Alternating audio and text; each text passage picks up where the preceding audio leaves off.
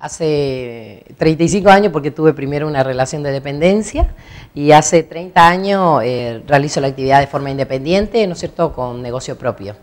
¿Cómo decidiste empezar a dedicarte a este rubro?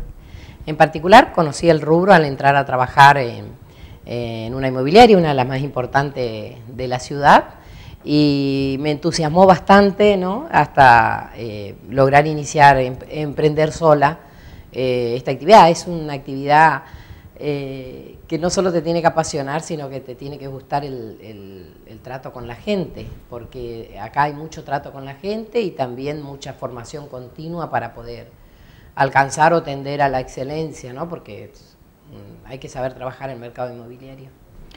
Eh, en relación a eso, contanos cómo, cómo fue evolucionando este mercado, cómo en este último tiempo fue cambiando.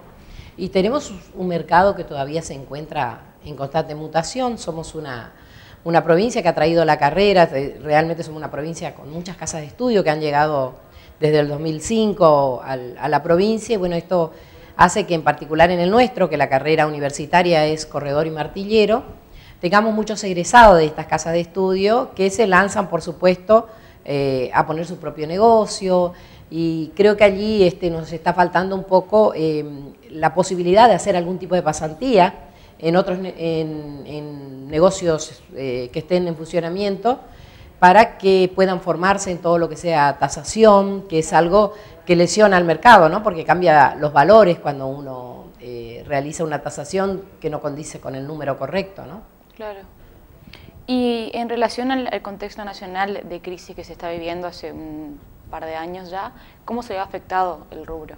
Y somos uno, si bien somos uno de los rubros más seguros, porque somos un rubro donde uno no pierde económicamente, uno puede guardar en, ladrillo, en tierra y no pierde, la realidad es que nos hemos afectado eh, cuando el mercado no tiene credibilidad, ¿no? Porque empieza esta duda de invierto o no invierto, qué va a pasar. Eh, siempre, todos los años vemos que dice, vamos a esperar hasta marzo, marzo vamos a esperar hasta julio y así va caminando y bueno, pero somos un, vuelvo a decir, somos un nicho de un mercado que mueve eh, a nivel mundial, somos la segunda, el segundo movimiento, quiere decir que nuestra actividad es una actividad, ¿no es cierto?, que no solamente que genera muchísimo en donde se encuentra, sino que es una actividad segura.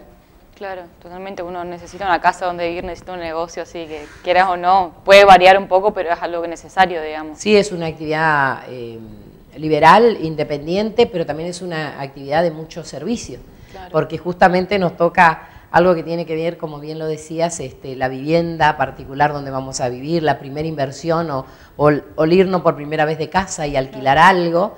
Eh, la verdad que, sí, nos toca una parte linda que tiene que ver con esto de, del hogar de las personas, ¿no? Claro. Y en ese sentido, hubo eh, en la parte de la compra, venta y el alquiler, eh, ¿cuál varió más?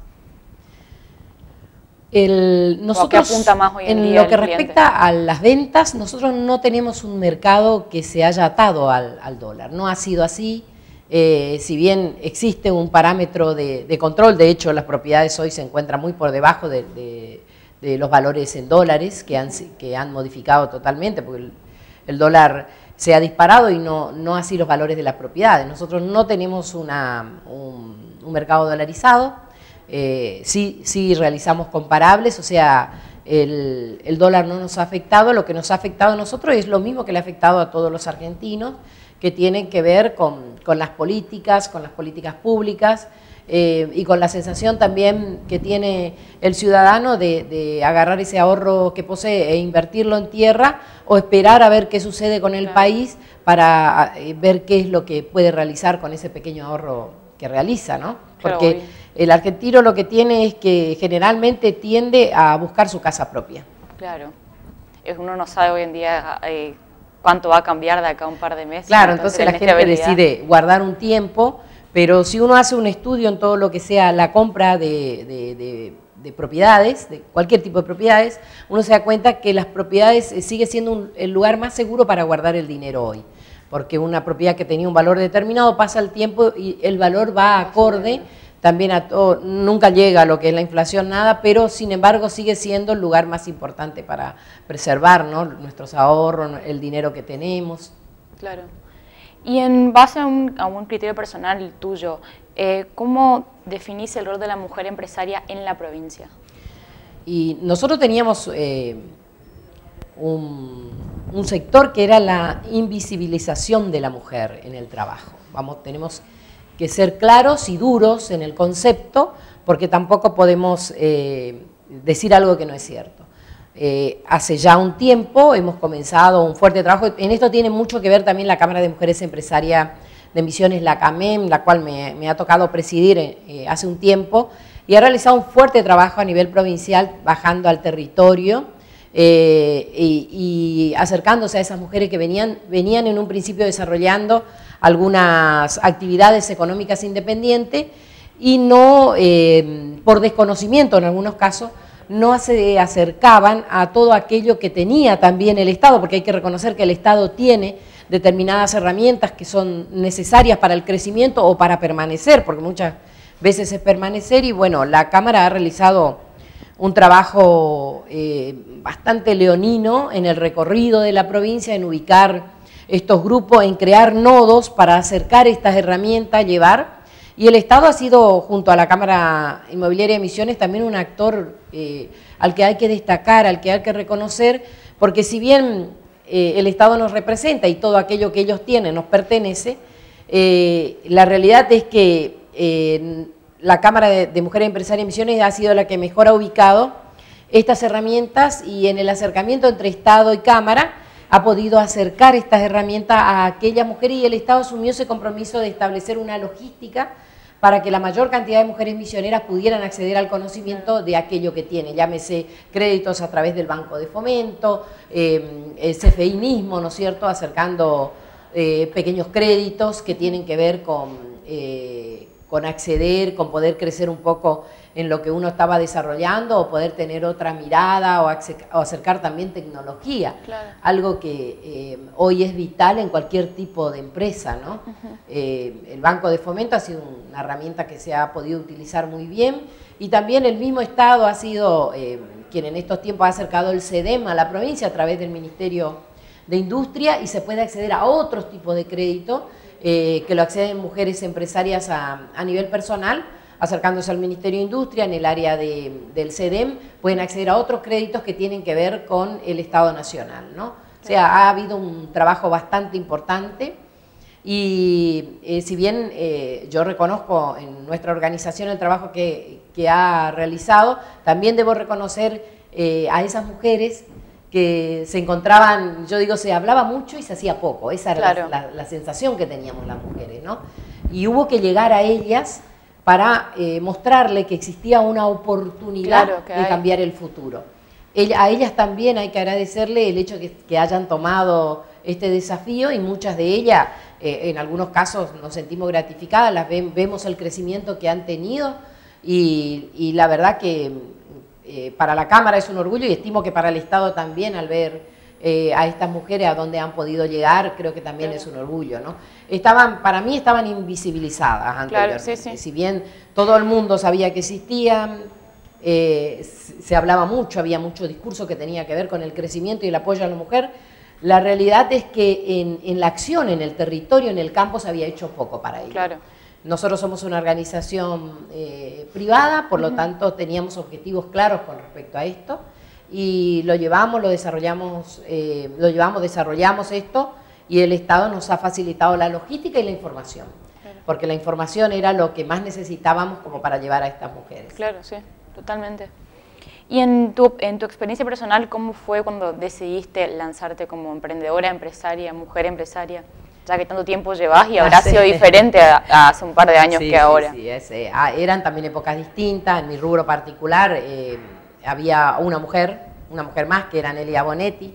De hecho, ha sido mi madrina en muchas cosas. La Nelia Bonetti ya no está con nosotros. Era la única mujer que desarrollaba la actividad en, en la provincia de Misiones. Y con esto yo quiero clarificar que no había muchas mujeres en el rubro. Hoy somos muchas las que desarrollamos esta actividad. Eh, también debemos decir que es una actividad eh, que es eh, no pareciera que no se acorde a la mujer. Con esto demostramos que las mujeres lo pueden desarrollar como los caballeros también muy bien. Y no fue fácil en esa época, si bien creo que fue más fácil que en esta, digamos, porque no había muchas inmobiliarias, por lo tanto la gente también estaba ávida de otro tipo de servicio. éramos pocos, o sea, había más mercadería, más... y la gente quería también nuevas caras, nuevas formas de trabajar, venía también una época de muchísima formación, de muchísima preparación, y eso hacía que cambiara el trato con el, con el cliente. Eh, no fue fácil mis comienzos porque, bueno, ya en particular ya tenía dos hijas, eh, estaba casada, bueno... Te tomó de otra manera, claro. Claro, el padre de mis hijos trabajaba em, para el Estado, trabajaba en, en Prefectura Naval Argentina, y bueno, comencé sola, en principio acompañada de dos hermanos, que, también uno de ellos tiene eh, su propia inmobiliaria hoy en día.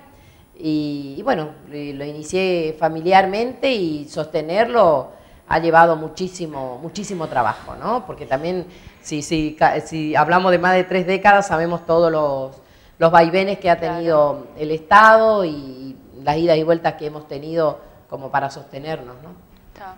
Y ahora hablemos de, tu empresa, las fortalezas, ¿cómo definirías a tu empresa hoy en día, Bauer Propiedades? Sí, nosotros este, nos escindimos de, mi empresa anterior, que la razón es porque mi empresa anterior tenía, yo lo había puesto con el apellido de casada, lo quiero explicar porque la gente eh, consulta mucho, y bueno, eh, y decidí caminar con, mi nombre, con mi, con mi apellido, y me parecía también correcto. Eh, el padre de mis hijos se había incorporado a trabajar con, nosotros cinco años después y el apellido de él era el que habíamos repetido. Yo había empezado esto con una socia, con otra mujer que se retiró al año y bueno, repetimos el apellido, de ahí surge que, que se repite el apellido. No es el mío, mi apellido es otro, entonces optamos porque yo me llevara la llave, que es el, el logo de, nuestro negocio, y bueno, él quedara con, con su apellido, ¿no? Era, nos parecía correcto. Eh, bueno, Bauer eh, Propiedades se inicia en un, tiempo nuevo, con, muchas eh, ganas de, cambiar y de aplicar aquello que ya veníamos aplicando, pero que tiene que ver con, dar una mejor atención, con la comprensión del cliente, utilizar todas esas herramientas de los múltiples cursos que hacemos, pero que nunca terminamos de utilizar. De hecho, hemos hemos hecho una fuerte capacitación en atención al cliente, justamente con otro órgano del Estado, con la Fundación ADEMI para ser más, exactos. Hicimos una de atención al cliente en excelencia. Eh, hemos hecho atención al cliente a nivel particular con varios entrenadores, es algo que nos preocupaba mucho. Y bueno, y otras herramientas como mentoring empresarial, como coaching, eh, que es algo que vengo también estudiando, me recibo este año, fin de año. Eh, todas esas herramientas las, vamos a, las estamos aplicando en, en Bauer Propiedades.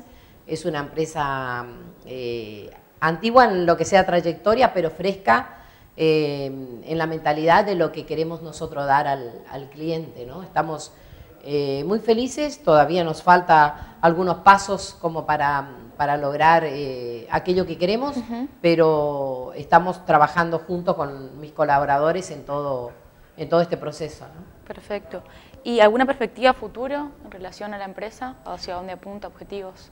Eh, los objetivos que tiene la empresa es, bueno, primero es la, calidad y calidez en el servicio, es algo que, queremos aclarar, que queremos tener, el, eh, utilizar todas las tecnologías que se encuentren es otra, de hecho hemos hecho un, convenio de redes acá, condiciones online para el manejo empresarial, que nos parece muy importante llegar, llegar a más lugares y saber cómo llegar con la comunicación. Eh, y bueno, otros desarrollos que tenemos pendientes hacerlos afuera, que está esperando este paso previo de la incorporación y el acceso a la tecnología para hacerlo, ¿no? Claro. O sea, sí, nosotros vamos a, hacer una punta de lanza en todo lo que sea eh, el desarrollo inmobiliario en la región. Y para cerrar, contanos eh, las actividades que desarrollas hoy en día en la CAMEM. Eh, actualmente en la CAMEN soy past president, o sea, soy expresidente en la CAMEN. Soy el segundo referente después de la, de la señora presidenta, actualmente la presidenta es la señora Celia Cosachik. Sí. Y estoy en, desarrollando todo lo que sea redes y contacto, representando a Cámara. y bueno, viajes, congresos es lo, lo que me ha tocado por decisión de presidencia. Eh, para acompañar todo aquello que, que, Camen ha desarrollado, porque Camen no solo ha crecido en la provincia, sino que ha crecido muchísimo en la región con convenio, con instalación de sede fuera, fuera del país. El primero ha sido en, Encarnación. Eh, hemos hecho trabajos de mentoring empresarial con Brasil. Y bueno, esta actividad todavía tiene eh, que seguir creciendo. Hemos tendido fuertes redes en el país con algunas organizaciones y, eh, ahora estamos en el proceso con América Latina. Y bueno, todo este trabajo por decisión de presidencia me ha tocado llevarlo adelante. Muchísimas gracias y te deseamos todo lo mejor en, tu emprendimiento y tanto en la CAMEM también. Bueno, muchísimas gracias. Este, reitero el saludo de la Cámara de Mujeres Empresarias de Misiones. Yo no quiero perder la oportunidad de invitar a todas las mujeres empresarias de la provincia que se acerquen, a que nos conozcan como Cámara, eh, a que vean las herramientas que, tiene, que tiene CAMEM eh, herramientas que tiene el Estado provincial también y que lo pueden utilizar. Y bueno, a disposición eh, como empresa para todos aquellos que están buscando asesoramiento inmobiliario o que tienen interés en invertir en nuestra provincia, eh, a las órdenes este, con muchísimo gusto. Y muchas gracias por la calidez de la entrevista. Muchas gracias.